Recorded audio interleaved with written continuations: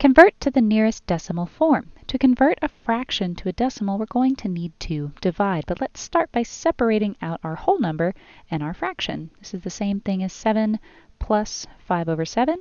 And now we can take this and find its decimal form by dividing. 5 over 7 is the same as 5 divided by 7.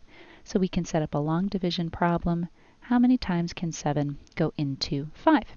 It can't go into 5 at all, but we add a decimal and we add a zero, and now we can say how many times can 7 go into 50. That would be 7 times. 7 times 7 gives us 49, and then we subtract.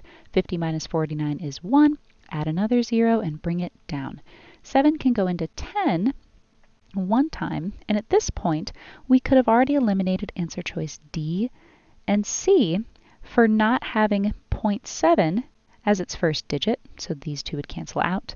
And then we can see that our tenths place, or our hundredths place, excuse me, should be the number 1, not the number 6, so we can eliminate answer choice B, and by process of elimination, we can see that A is our correct answer.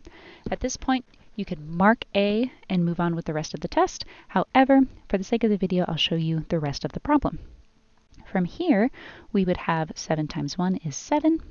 We would subtract. 10 minus 7 is 3 add another 0 and bring it down. 7 can go into 30 four times. 7 times 4 is 28. We subtract.